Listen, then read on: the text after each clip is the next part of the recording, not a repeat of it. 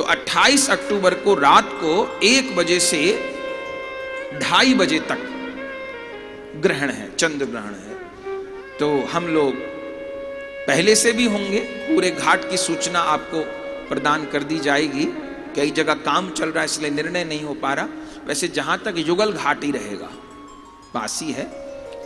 तो वहाँ समझिए कि एक बार साढ़े बारह, पौने एक बजे स्नान होगा। जो नहीं कर सके, वो छीटा मार लो। रास्ते तो सारे हैं बचने कर सके तो डुबकी लगा दे। और फिर वस्त्र रखे। फिर एक बजे से लेकर ढाई बजे तक एक आसन पर जप होता है गुरु मंत्र का।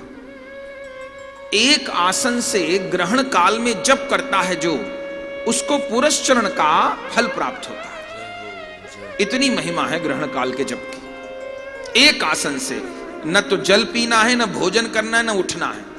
तो पहले लघुशंका आदि, जल पीना सब पहले कर ले काम। डेढ़ घंटे की तो बात है। स्नान कर ले फिर। फिर अपरस में बिना छुए बैठ जाए, जब करने आसन पे वस्त्र पलट ले, बैठ जाए। तो एक से रात में, एक से ढाई बजे तक का समय है। अपना तो यमुना जी के तट पर हर वर्ष रहता, इस बार और विशेष रहेगा। तो पहले हम लोग साढ़े बारह के लगभग स्नान कर लेंगे, पौने एक तक। वस्त्र आदि पलट के फिर एक बजे से ढाई बजे तक एक आसन पर बैठ करके सब लोग जप करेंगे। सब लोग श्री गोपाल मंत्र अथवा श्री महामंत्र इनके जप करेंगे। जो गुरुदेव आज्ञा करें उस प्रकार। एक बजे से ढाई बजे तक फिर दो चौबीस के लगभग मोक्ष है। तो ढाई मान लीजिए, फिर ढाई बजे मोक्ष होगा, फिर स्नान होगा। जो कपड़ा पहरे उन कपड़ों के सहित होगा। ध्यान रखें दो जोड़ी कपड़ा भी रखें। जो कपड़ा ग्रहण के हैं, वो फिर काम नहीं आते।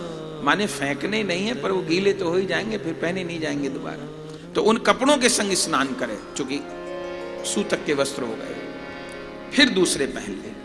तो ढाई बजे दोबारा स्नान सब वैष्णव जन करेंगे। फिर उसके बाद दीपदान होगा। दामोदर अष्टक का पाठ होगा। और दीपदान हो जाएगा। मानिए कि तीन, साढ़े तीन बजे तक विश्राम हो जाएगा। कीर्तन तो आठ बजे से ही प्रारंभ हो जाएगा।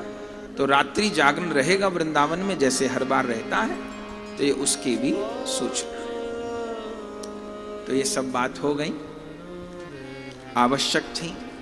जो प्रत्यक्ष में है वो तो है, पर जो YouTube पे सुन रहे बहुत बेचैन थे। समय नहीं मिल रहा था। हमने कहा अब सबसे पहले यही समाधान करेंगे तसल्ली से तो कोई बात पूछनी बाकी न रह जाए